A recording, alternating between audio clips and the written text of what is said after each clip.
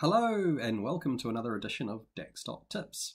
Today I'm going to be showing you how you can build your very own external helper tool to format automatically format your DAX measures from directly inside Power BI uh, desktop. So you'll get the get the problem. You might have a PBIX file with a whole bunch of DAX measures. Uh, these could be stored in measures, uh, DAX, expressions. These could be stored in measures, calculated columns, or calculated tables. Uh, so they might look like this. Uh, we have a measure here that's not very nicely formatted. What I'm going to show you how to do today is add an icon to external tools um, that will iterate through your model, find every single DAX expression, and if it's not formatted, send it off to daxformatter.com. daxformatter.com is a wonderful tool. Uh, if you haven't already used it, you can go to daxformatter.com and just type in some fairly ugly looking DAX, uh, such as evaluate. This one's been formatted, already done. Let's go on and put some pretty ugly looking DAX. Evaluate some ugly looking DAX. Excuse my typing there. And if we hit the uh, formatter button, the DAX formatter tool just chugs away and comes back and makes it a lot, lot nicer to look at. Um, now we don't want to do this by copying and pasting uh, measure by measure or expression by expression, so we want to build a, a, a tool from scratch using Visual Studio Code. So let's fire this up. I'm going to open Visual Studio Code and I'm going to create a brand new folder. Uh, so let's say open folder. And I'm going to call this, in my example, a new folder called E6. Don't you just love my uh, uh, completely creative and imaginative naming conventions? But this is a blank folder. I'm going to go into this folder, select it, and it's going to be completely empty. We're starting from scratch. That's all this is doing. Now, the first thing we always need to do is uh, check to make sure we've got the SDK um, and installed for .NET. So let's just um, check that first. So dot .NET hyphen hyphen info and have a look at the output. And this is telling me we've got uh, the 5.0 SDK installed. You might have the 3.1 installed, that's fine. Um, both 3.1 or 5 will work. Just make sure it's uh, one of those numbers or higher. So that's cool. So now we can go ahead and create our console app dot dot net new console. And here we go. That's created a new project file. We have a program.cs file. This is the hello world. And if I open the pro program.cs file, we should be able to hit the F5 button uh, once we get the dialog to say, do we want to uh, add the assets to E6? Yes, we do. Let's run this and what we should see is a, in the output the hello world appear in the uh, terminal window or the debug console window. There it is. Yes, fantastic. We're underway. Um, okay, so the next thing we need to do is add the packages. Uh, and there are two packages required for this one. There's the standard uh, NuGet Gallery Analysis Services.NET core retail. Now the link for this is in the blog page, but what we want is the .NET CLI code. So let's just grab that code, copy it into the terminal window, and into the terminal window, not the debug console. How silly of me. Okay, here we go. .NET add package, Microsoft Analysis Services, .NET Core Retail, AMD in the latest version. And here we go. So this is actually adding the helper files to this project that we just created. The second helper project, project that we need is the, uh, the, the Newtonsoft JSON uh, helper files. So let's just go up. We'll probably have this in my history. There we go. .NET add package newtonsoft.json. And that's it. They're the only two um, packages that we need for this project to work. The next thing we need is to go and get the code for the project. Now I've got the link in the um, in the blog file um, but let's go and find uh, this, the, the, the code. So what, what you need to do is just go and download the file called program.cs. Let's open this in a text editor. Okay, cool. Now this might seem seem confusing. I've got two copies of program.cs open in my in my single Visual Studio Code project. But all we're doing is uh, opening the one from the asset file, which has about 200 lines of code There we go, 288 lines of code. We're going to control all, control copy, jump back to the hello world version and replace the entire uh, data set, uh, and all the code. There we go. And we can close this off. We don't need this anymore.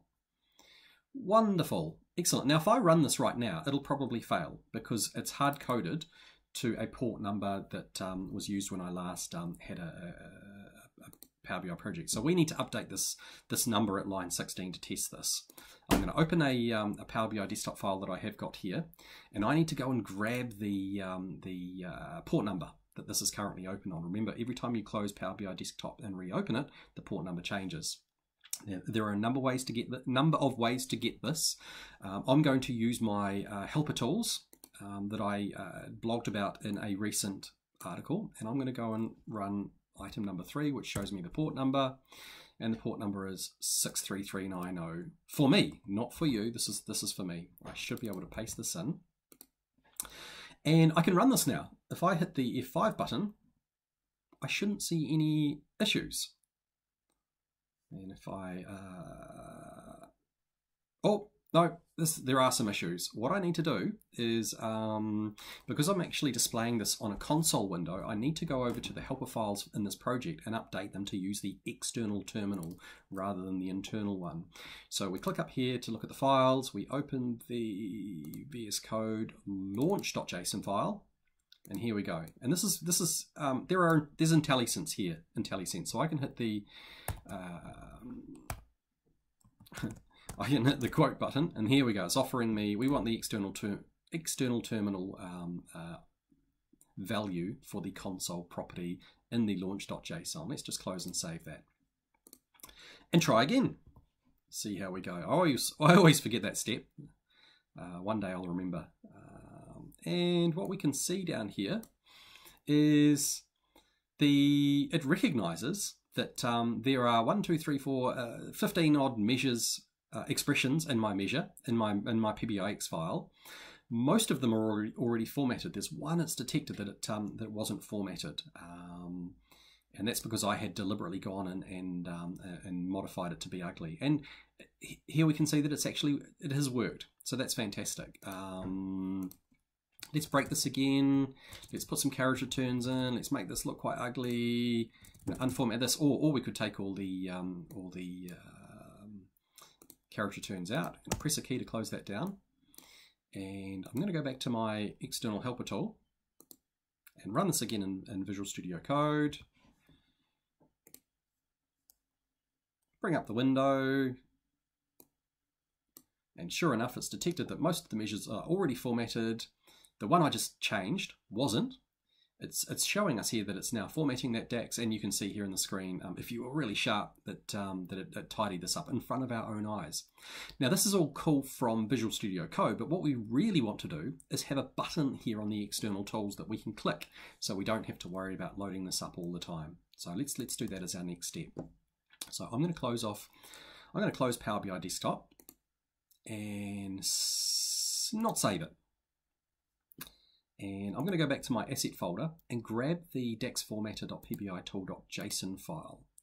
We're going to copy that and I'm going to put it into my external tool folder. Now the external tool folder should be something like your uh, C common files, Microsoft shared, Power BI desktop external tools. Now by dropping this file into this folder, the next time Power BI desktop opens, it will add this the, the, all the details from this um, uh, JSON file as a button on the external toolkit. It's as easy as that. But let's edit to edit this first. Uh, so because we're going to have to update the path. Open with code. Okay, so we need to update the value of this path property. Now this is currently showing um, where perhaps I have built a, uh, another version of this, but I want to use the, um, the, the code, the executable code from um, my VS from here. Okay, so we want to actually run this E6 property here. So let's um, reveal in File Explorer to find the location.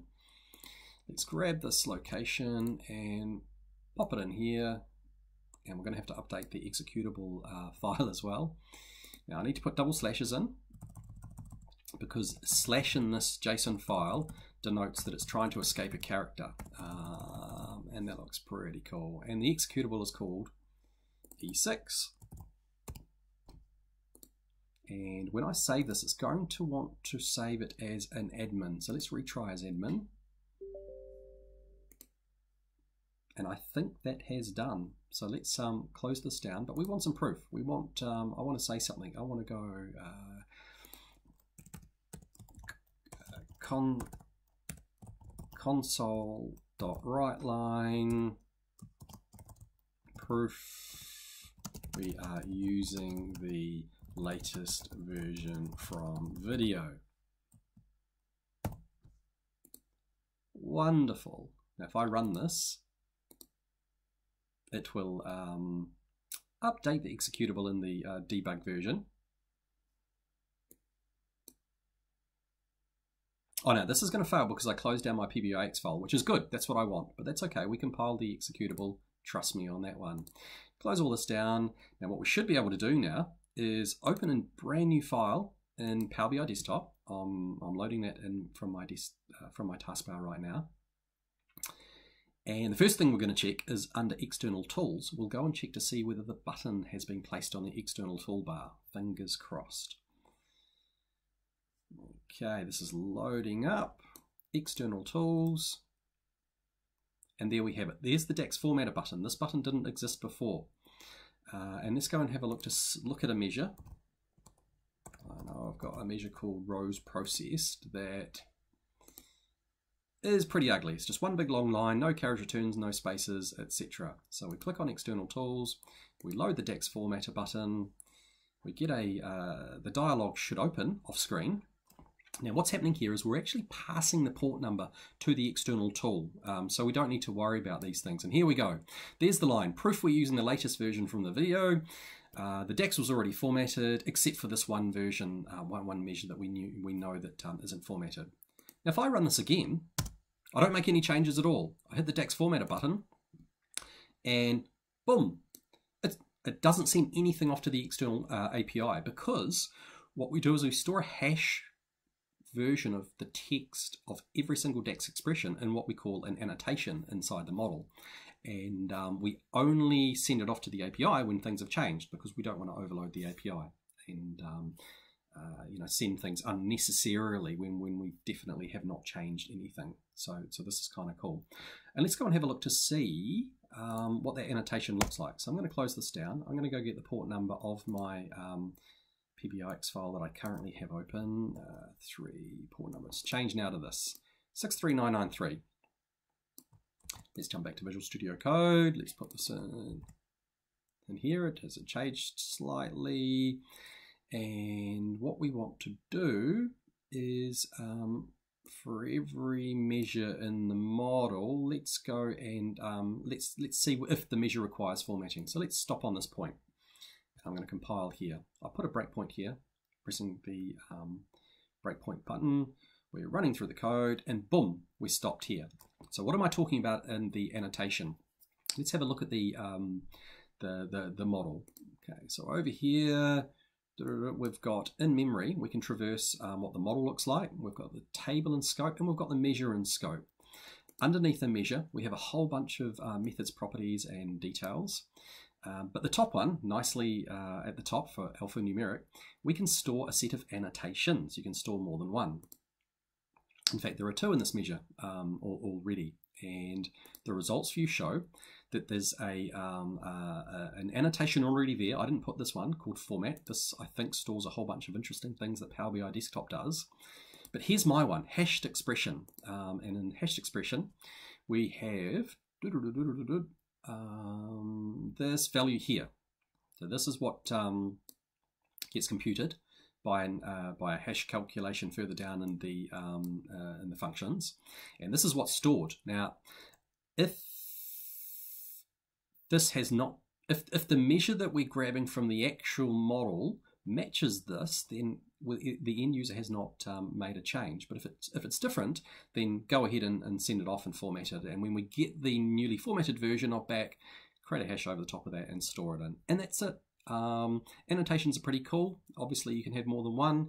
Uh, pretty much every object in an, an analysis services model can store annotations, so you can go a bit crazy and do some pretty cool documentation and, and helper like um, uh, use it for, for, for, for formatting.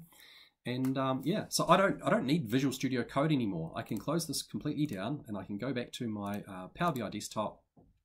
I'll pick a different measure just for fun. Uh, say this one here and go like this and go like this and um, I can close this. I don't have Visual Studio open, but I can click on my external tools and run my DAX formatter and boom, it can tell that all these other DAX expressions have been already formatted. This one had changed. You saw it in front of your eyes. Um, and that's it. So please, um, you know, give it a try. Give it a try. Uh, this is a, this is really just starting you off. You can take this code and, and improve it, enhance it uh, however you like. You know, big thanks to the um, formatter provided by SQLBI. You know, please be respectful and and, and don't overload it unnecessarily. Um, I want to also thank Ted Pattison, my, my colleague, who I did the DIX camp uh, session with. It was, you know, between him and I that, uh, in fact, he did most of the code here. I just um, uh, tidied up the icon and put a few bits and pieces in and, and, and written this up in a blog to share with you. So, uh, yeah, let, let us know if you actually add this as a, an external tool and, and find it useful. Um, yeah, great. And I hope you enjoyed this uh, short episode on DAX.tip and look out for the next one. Bye bye.